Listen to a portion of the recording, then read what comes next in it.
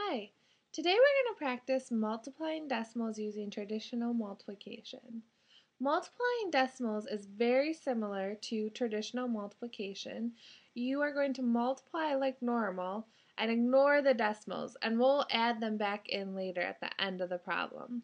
So let's get started with 4.2 times 1.9.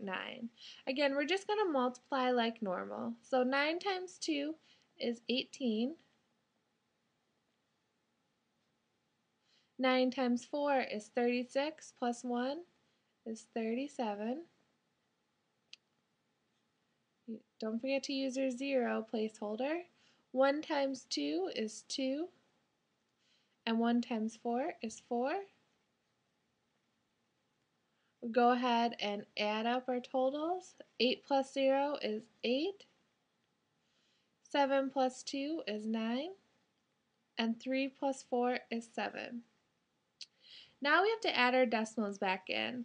The key is to count the number of numbers behind your decimals in the problem. So one, two numbers are behind the decimals in the problem, and you need the same amount in your answer. So one, two.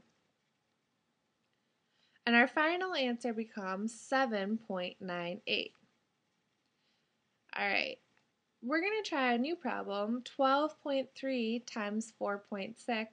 And again, we're just going to multiply like normal. Ignore the decimals until the very end.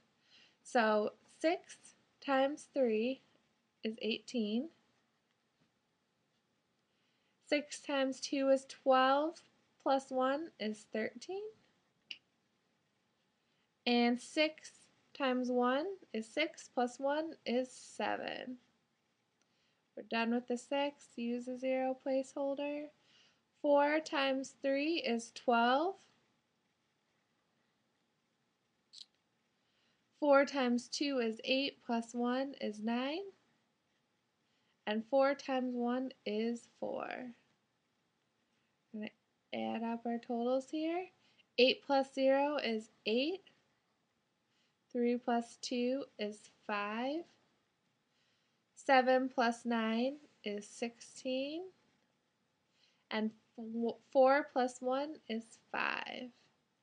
Don't forget to add your decimals in. We have 1, 2 numbers behind the decimal in our problem, so we need 1, 2 numbers behind the decimal in our answer. Alright, I have two problems I want you to try, so pause the video while you complete the problems and then press play to see if you got the right answer. All right, 4 times 2 is 8.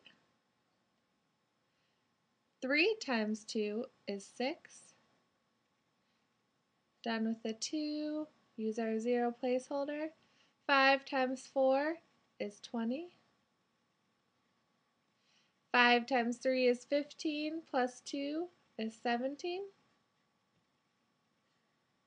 We're going to add up our totals. 8 plus 0 is 8. 6 plus 0 is 6, 7, and 1. Again, we have two numbers behind the decimals in our, in our problem, so we need two numbers behind the decimals in our answer. So our final answer is 17.68. All right, last problem here. 1 times 6 is 6. 1 times 1 is 1. And 1 times 2 is 2 done with our 1, 0 placeholder. 5 times 6 is 30. 5 times 1 is 5, plus 3 is 8. And 5 times 2 is 10. Add up our totals. 6 plus 0 is 6. 1 plus 0 is 1. 2 plus 8 is 10. 1 plus 0 is 1 and 1, bring it down. Again, we had, have two numbers behind the decimal in our problem, so I need one, two numbers behind the decimal in our answer. And our final answer becomes 110.16. Alright, you're not done yet. I do want to see if you can remember the steps to multiplying fractions. Pause the video and see if you can remember the proper steps for multiplying fractions and then press play to see if you got them correct. Alright, I hope you remember that for multiplying fractions, you just have to multiply straight across. So 5 times 2 is 10, and 7 times 3 is 21. Our last step of fractions is always to make sure that the problem is simplified. There is no number that we can divide both 10 and 21 by, so that is our final answer. Again, I hope you multiplied straight across. So 7 times 1 is 7. 10 times 2 is 20. Check to make sure you can't simplify. And our final answer is 7 20ths. Make sure you finish the back of this worksheet before you turn it in.